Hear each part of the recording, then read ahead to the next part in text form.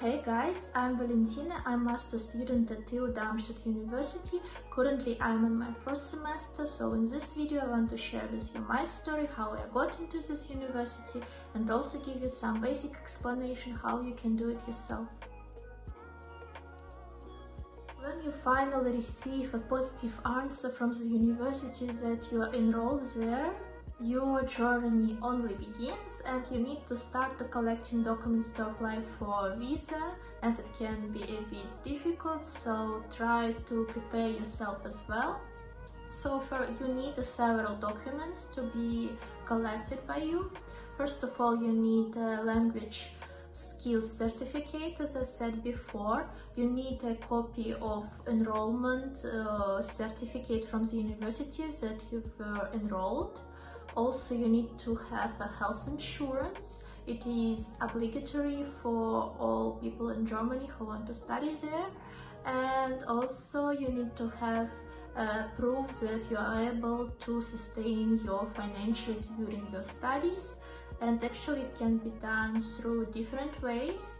I many students just open blocked account Blocked account is a system that you transfer money to some company that holds and transfer you monthly amount every month so that you are as young student don't spend all your money in one or two months. And usually there are several companies that do it, Coracle or Fintiba.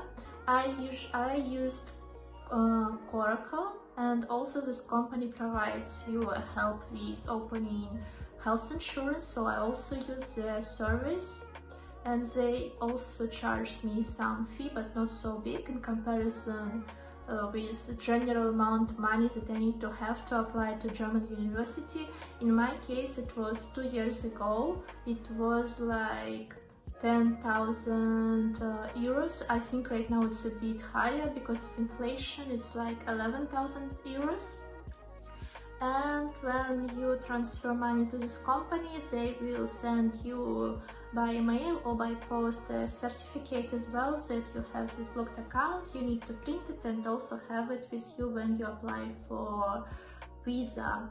And also you need to write a motivation letter why you want to study there what you will have in the end what you are planning to do after your graduation. You need to check it in more detail. Usually it's also described on the website of german uh, office or in, in general information in the internet. I just search in Google. Also, when you have some relatives or close people with European citizenship that can vouch for you, that they will sustain your financial during your studies, you can also use their help and they need to sign official documents that they are going to do it. And you also can provide this document to when you are applying for visa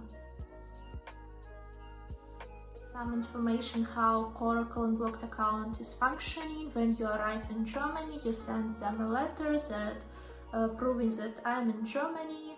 Please start transferring money to my bank account and also you need to open a bank account before so that the company can transfer money to your card and then you will receive every month certain amount of money. I think that's it.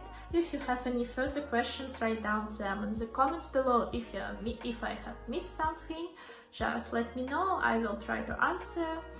And thank you for watching. See you in the next videos. Bye.